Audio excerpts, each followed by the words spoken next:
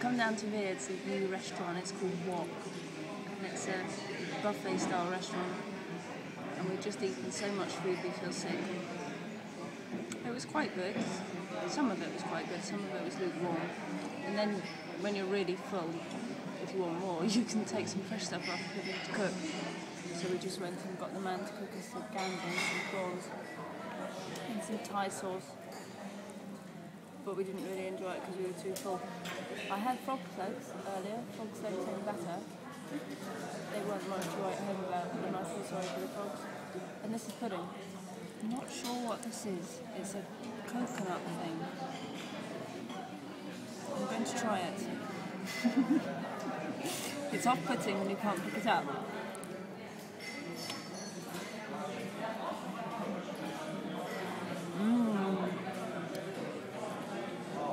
Think it's a coconut jellyfish. Yummy. I tried one of these earlier. It's a Chinese strawberry and it's really yummy. Really yummy. And here, oh.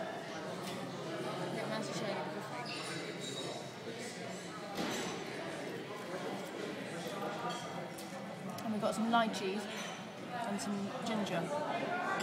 Actually, this this um, coconut jellyfish, you'd like it. It's tapioca or something.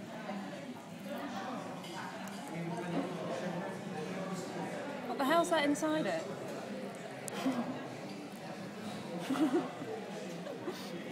oh my god, is it an egg?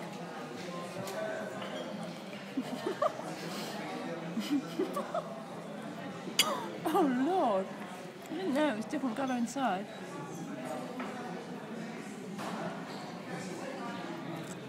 I really don't know what this is. I think it's probably the guts of the jellyfish.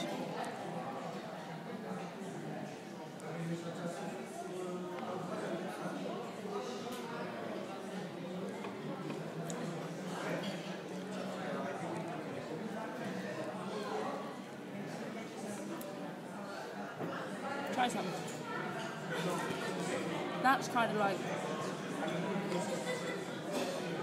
ground almonds, but it's not. The outside you'll like, it's sort of like. Try some. You still video?